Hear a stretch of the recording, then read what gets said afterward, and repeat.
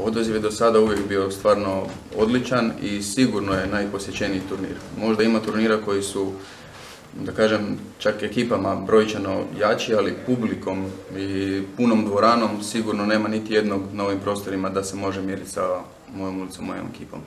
I nadamo se ove godine najmanje brojke kao lani. Skupa znamo koliko je sport bitan za razvoj jedne društvene zajednice i stoga mi je drago što kao grad kontinuirano ulažemo u sportsku infrastrukturu, ali između ostalog podržavamo ovakve manifestacije jer turnir Moja ulica, moja ekipa, osim što ima doista dugu tradiciju, već 29. izdanje i ogroman broj posjetitelja, jedan turnir koji doista u fokusu centra pažnje stavlja sport i nadmetanje i stoga mi je drago što grad može biti pokrovitelj, bit će to ove godine i u budućem. Znači prijave su već ovaj, otvorene, prijaviti se mogu znači, seniorske i veteranske ekipe. E, Prijave završavamo 2.12. i dan poslije nas očekuje izlačenje u kafe baru Kabaija gdje ćemo doznati raspored i datume i vrijeme natjecanja. Turnir krećemo u petak 8.12. i sve završno do Božića 25.12. kad nas čeka četiri velika finala u četiri kategorije gdje ćemo dobiti nove heroje ulice.